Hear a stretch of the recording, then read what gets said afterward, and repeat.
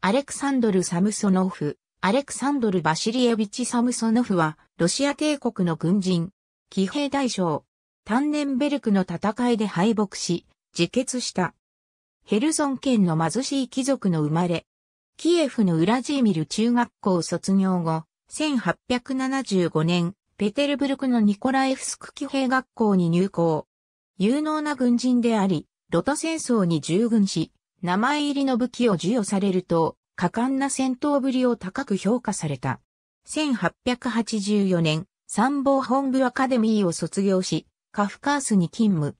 日露戦争では、ウスリー騎兵旅団長、シベリア騎兵士団長として、法天海戦などで活躍し、中将に昇進した。1906年、ワルシャワ軍管区参謀長。1907年、ドンコサック軍の中津の井頭となる。その後トルキスタン総督などを歴任し、1910年、騎兵大将となる。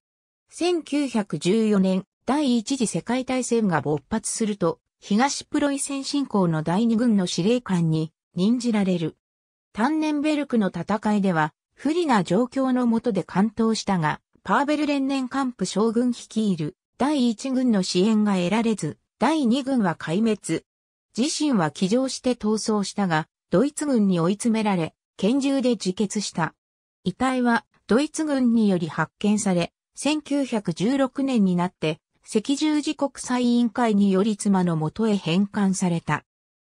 連年幹部がタンネンベルクの戦いで苦境に陥ったサムソノフの第二軍を支援しなかったのは、両者が日露戦争時から折り合いが悪く、法天駅等で殴り合いに至ったことさえあったためという説があるが、1991年にアメリカのデニス・ショーアルターが詳細に歴史を検討した結果、当時連年幹部は重傷を負い入院中であり、法天駅でサムソノフと開校することはありえなかったとしている。ありがとうございます。